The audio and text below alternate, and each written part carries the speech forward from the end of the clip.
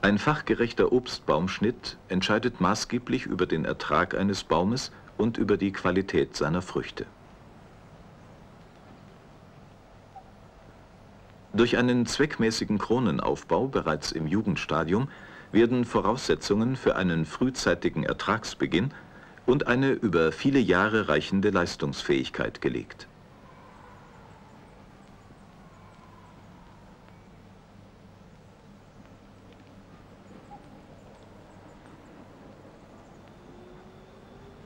Der Schnitt unterstützt aber auch die Wirkung anderer erforderlicher Maßnahmen, wie zum Beispiel den Pflanzenschutz.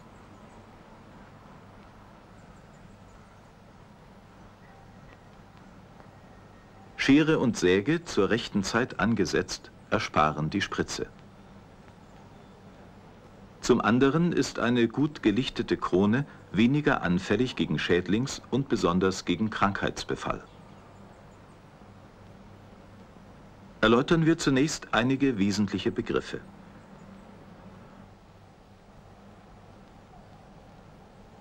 Die Baumkrone besteht aus den Grundelementen Stammverlängerung, Gerüstäste und Fruchtäste.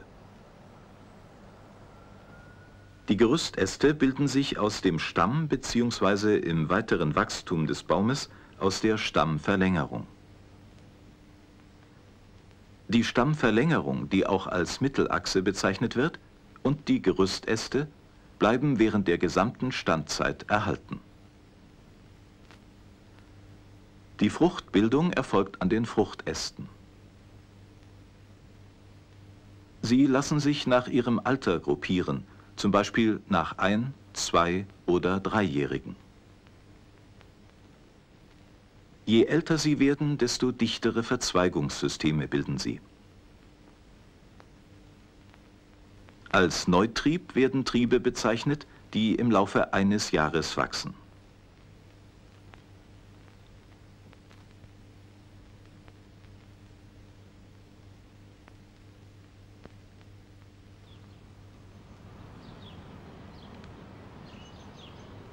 Im Folgenden einige Erläuterungen zur Entwicklung der Baumkrone und der Reaktion auf gezielte Schnitteingriffe.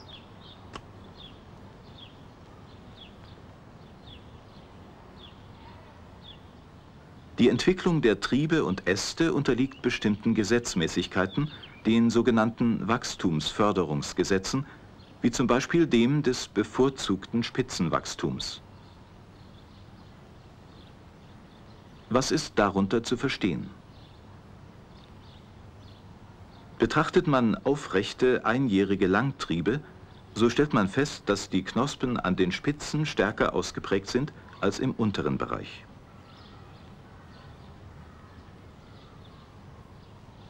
Durch das Entfernen der oberen Knospen fördert man den Austrieb der unteren. Diese Maßnahme spielt besonders beim Pflanzschnitt eine große Rolle. Hier sehen wir in der Gegenüberstellung die richtige und falsche Schnittführung an den Trieben.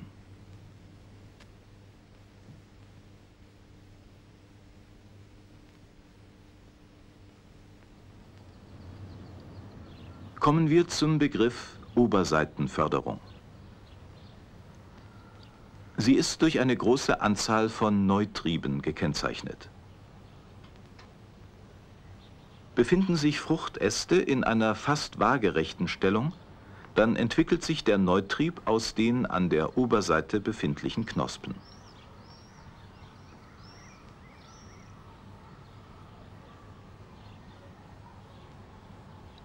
Die Länge des Neuwuchses wird von der Stellung des Astes seiner Stärke und seinem Alter beeinflusst.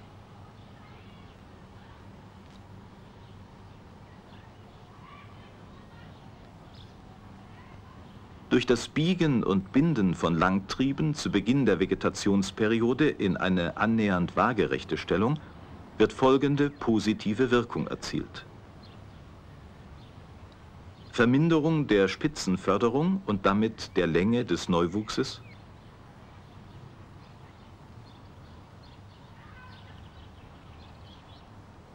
Erhöhung der Anzahl von Kurztrieben und damit Förderung der Fruchtbildung.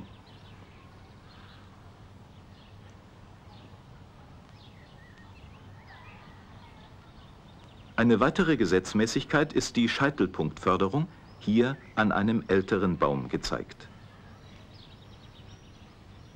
Sie tritt bei Ästen auf, die sich durch den Fruchtbehang bogenförmig nach unten abgesenkt haben. Der stärkste Neuwuchs entsteht am Scheitel des gebogenen Astes. Diese sogenannten Reiter können zur Verjüngung der Baumkrone genutzt werden.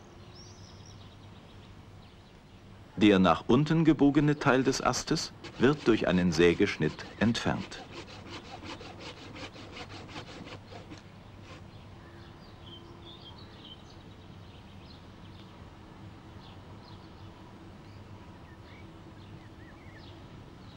Nun zur Basisförderung.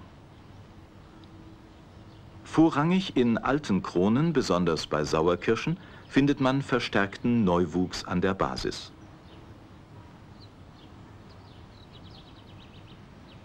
Die Entwicklung der herabgebogenen Astspitzen wird vernachlässigt. Die Basisförderung ist ebenfalls für die Verjüngung der Krone zu nutzen.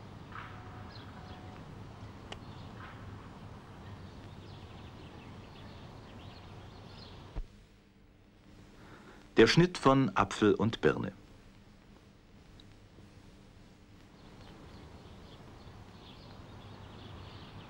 Der Schnitt und die Erziehung des Baumes beginnen bei der Pflanzung. Fehler beim Pflanzschnitt sind in den folgenden Jahren nur sehr schwer zu korrigieren. Auch sollten für den Kleingarten Bäume gewählt werden, die unter den gegebenen Standortbedingungen nicht zu einem übermäßigen Wachstum führen.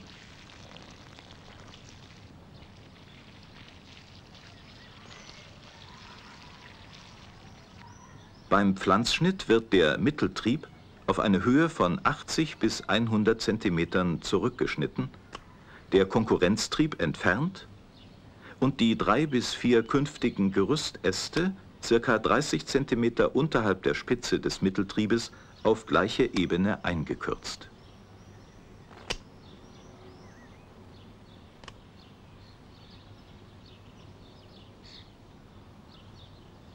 Die künftigen Gerüstäste, unmittelbar übereinander und gleichmäßig im Kreis verteilt, werden in einem Winkel von etwa 60 Grad zur Mittelachse gebunden.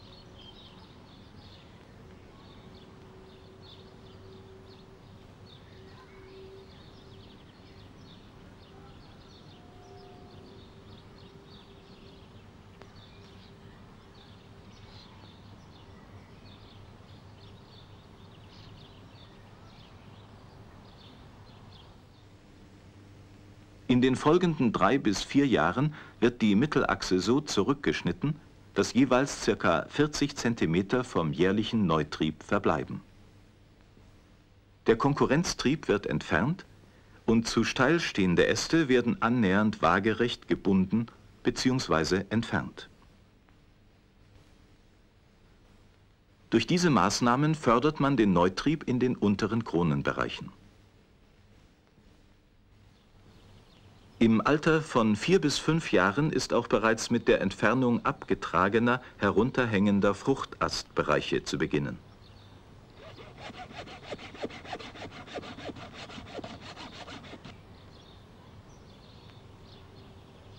Größere Schnittstellen, die beim Absägen von Ästen entstehen, sind sorgfältig mit Baumwachs oder Latexfarbe zu bestreichen.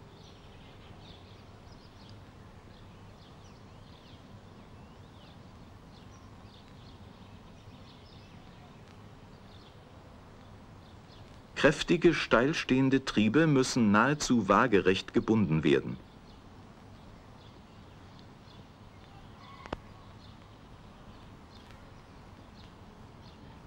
Überflüssige sind durch einen Schnitt an der Basis zu entfernen.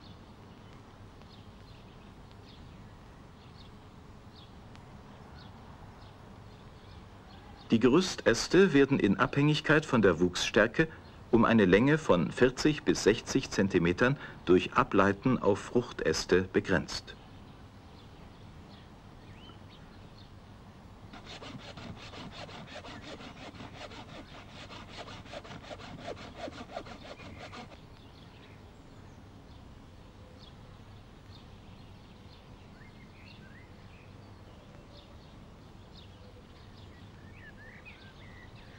Zur Begrenzung der Baumhöhe wird die Mittelachse nach Möglichkeit auf einen zweijährigen Fruchtast zurückgeschnitten.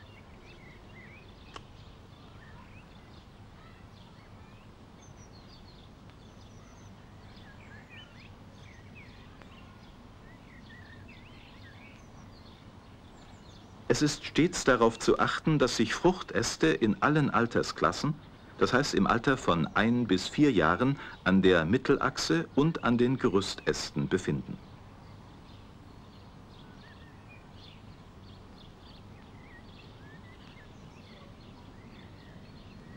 In Kleingärten stehen zahlreiche großkronige Apfelbäume, die durchaus noch ihren Nutzen haben.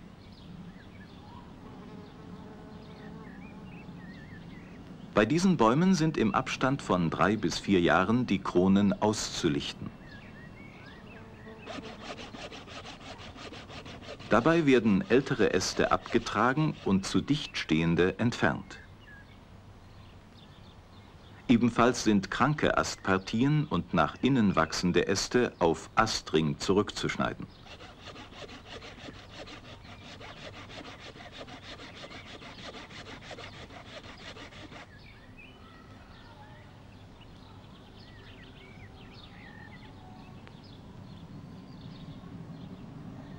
Im Ergebnis entstehen lichte und locker aufgebaute Kronen. Die Neutriebbildung wird angeregt und die Fruchtqualität verbessert.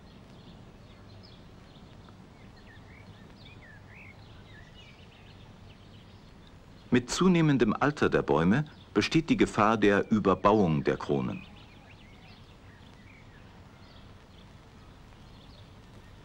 Das führt zu einer verminderten Neutriebbildung in den unteren Kronenbereichen und zu ihrer zunehmenden Beschattung. Das wirkt sich auf die Ausfärbung der Früchte negativ aus. Um dem entgegenzuwirken, ist es zweckmäßig, den oberen Teil der Krone mit einem Sägeschnitt zu entfernen. Mit dieser Maßnahme erspart man sich viele einzelne Scherenschnitte und eine große Anzahl Neuwuchs in der folgenden Vegetationsperiode. Durch weitere Schnitte wird der Krone wieder die entsprechende Form gegeben.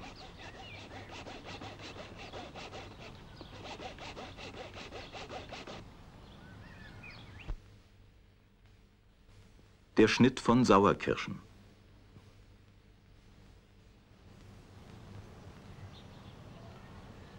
Sauerkirschbäume werden in der Regel als einjährige Veredelungen gepflanzt.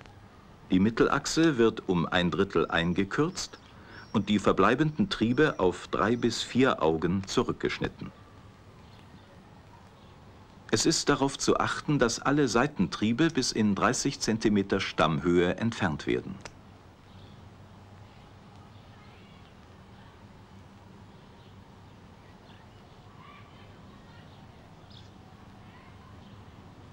Baumkrone wird mit drei bis vier Gerüstästen und einer Stammverlängerung erzogen. Im Alter bis zu vier Jahren hat der Baum in der Regel unabhängig von seiner Stammlänge noch so reichlich Neuwuchs, dass sich Schnittmaßnahmen erübrigen.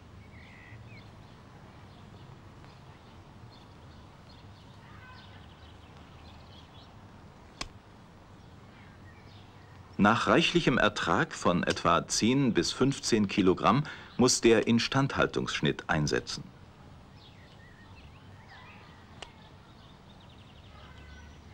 Besonders bei der Sorte Schattenmorelle treten abgetragene Fruchtäste in Form von verkahlten, hängenden Astpartien, den sogenannten Peitschen, auf.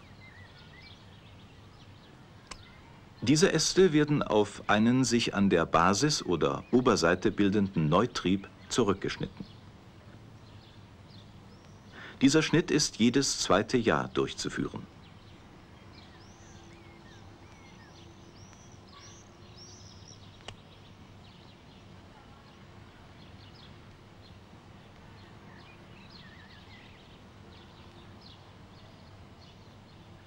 Ab sechstem oder siebtem Standjahr sollte begonnen werden, die Krone in ihrer Höhenausdehnung einzuschränken, um auch im unteren Bereich wieder genügend Neuwuchs und Ertrag zu erhalten.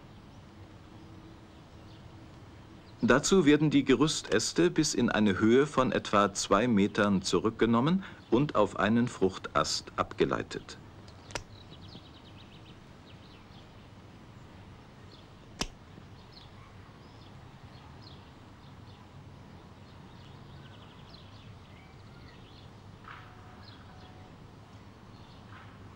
Diese Höhenbegrenzung muss nach Bedarf noch mehrmals wiederholt werden.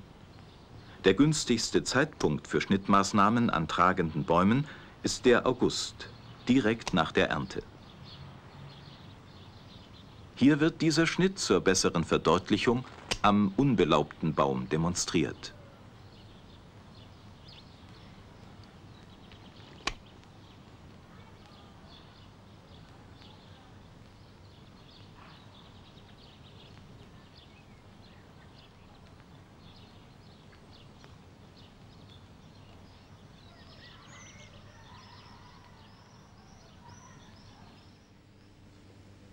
Der Schnitt der Süßkirsche.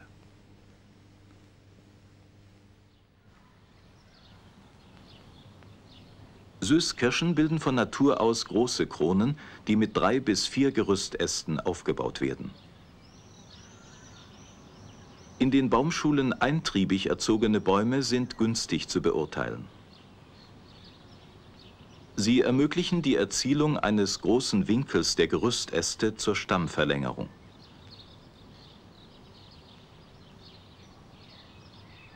Die Stammverlängerung wird so zurückgeschnitten, dass höchstens sechs Knospen austreiben.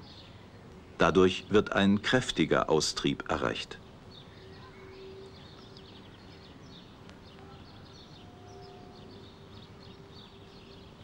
Im folgenden Jahr werden drei bis vier gleichmäßig im Kreis verteilte Triebe im Winkel von 60 Grad zur Senkrechten herabgebunden. Den steil stehenden Konkurrenztrieb entfernt man. Der Mitteltrieb wird so zurückgeschnitten, dass er die Seitentriebe um 10 bis 15 cm überragt. Weitere Schnittmaßnahmen sind nicht notwendig. Die Schnitteingriffe während der Ertragszeit beschränken sich auf das Auslichten im Abstand von fünf bis sechs Jahren. Dabei wird auch der Mitteltrieb eingekürzt, um das Höhenwachstum in Grenzen zu halten. Der Mitteltrieb ist so abzutragen, dass er die Gerüstäste nicht wesentlich überragt.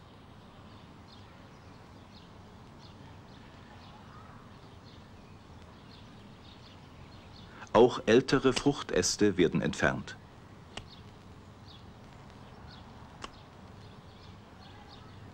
Der günstigste Zeitpunkt ist, wie bei der Sauerkirsche, gleich nach der Ernte.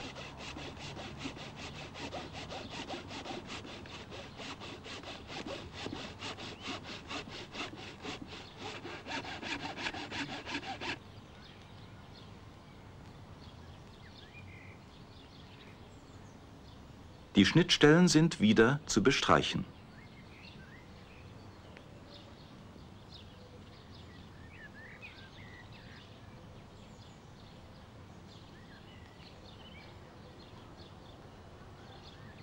Bei Beachtung dieser wesentlichen Grundlagen der Erziehung und des Schnitts der Obstgehölze ist es möglich, auch im Kleingarten frühzeitige und hohe Erträge zu erzielen